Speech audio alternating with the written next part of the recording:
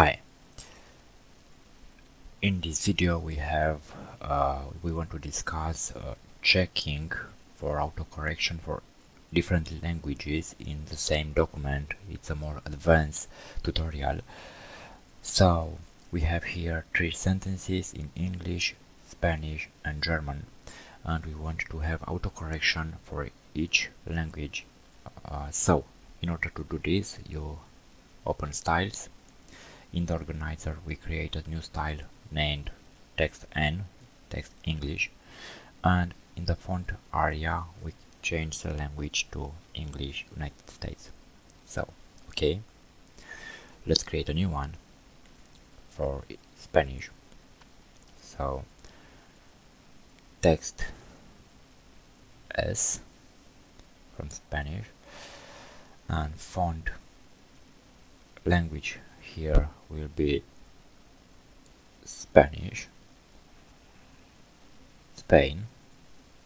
Let's check. Spanish Spain. Okay. And the new one for German. Text there and from font we check here. German Germany. Okay. So we have now custom style to see only the style we want to apply to be very easy to see these styles and select English and double click English. Select Spanish paragraph and double click Spanish checking. So we have it seems we have a, a, incorrect word here. So let's correct. I am not sure it's correct because I don't speak Spanish and double click on uh, German and you can see in the bottom we have German and so on.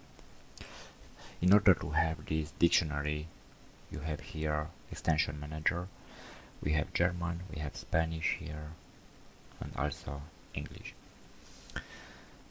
How to get these uh, styles?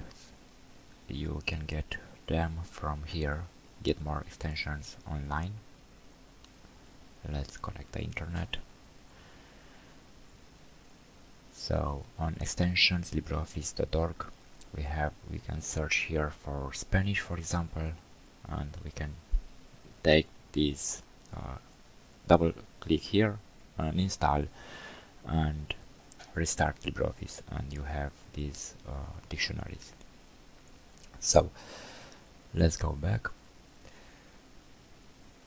now let's suppose another problem. We have here a German sentence, but we want also to have English uh, sentences in the same paragraph.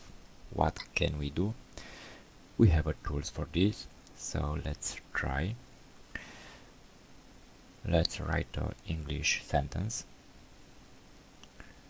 So this is a sentence in English, but it's in a German paragraph. You can see in the bottom we have German for this paragraph. You can see here and here is German, but we need in English. So in order to do this, we go here to character style and create a new style um, here from selection and we name it English text. And the same, we create a new one. Uh, and the font here we modify for English. And now let's create, you can see it's corrected us. So we have a correct English sentence. Let's create a new one.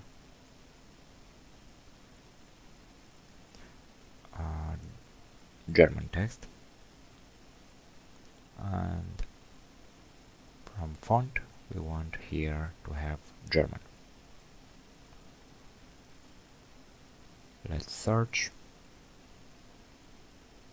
We have German. So now let's write a sentence. Let's modify. We have German for German text. Let's check. And we have on English we have English is correct. So let's test this with German now. Let's write a sentence und das ist auf Deutsch. And you can see many mistakes in its English. So let's click on German text and now we can correct. Ist and Deutsch and that is auf Deutsch so it's very easy to use this for every paragraph and also for uh, sentences in the same paragraph.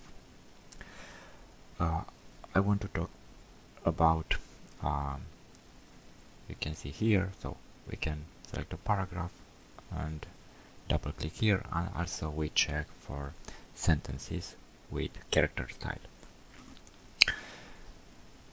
now we we are at German text and let's enter a new sentence. She's a teacher isn't it? So we have here the text in German you can see uh, below. In order to change this we have some tools. We can right click from here and set language for paragraph 2 and we choose English. And now we can correct. And also we have another options. We select the text and go to tools language for selection for paragraph or for all text. And we choose from um, these options. So it's very easy. Thanks for watching. Please subscribe